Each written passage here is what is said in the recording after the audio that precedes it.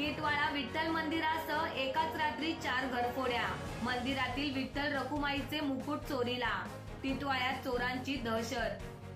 कल्याण तालुक्यातील टिटवाळा गणपती मंदिरा शेजारी असलेल्या विठ्ठल मंदिरात पाच ते सहा चोरट्यांनी चोरी केली विठ्ठल मंदिरातील विठ्ठल रुक्माईचे दोन किलो वजनाचे चार चांदीचे मुकुट या चोरट्यांनी चोरी केले. त्याचबरोबर त्याच रात्री या मंदिराच्या परिसरातील जवळजवळ चार घरफोड्या या चोरांनी केल्याने चोरांची मोठी दहशत टिटवाळ्यात निर्माण झाली आहे. दोन दुचाकीवरून आलेल्या सहा चोरांनी या घरफोड्या केल्याचे एका सीसीटीव्हीच्या माध्यमातून समोर आले आहे. दरम्यान या चोरी प्रकरणी टिटवाळा पोलीस ठाण्यात अज्ञात चोरट्यांविरोधात गुन्हा दाखल करण्यात आला आहे.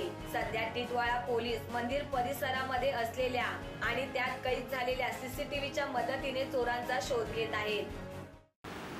टिटवाळा मंदिर गणपती मंदिरच्या बाजूला प्रसिद्ध असे गणपती मंदिरच्या बाजूला विठ्ठल रुक्मिणी मंदिरचे प्रसिद्ध मंदिर आहे.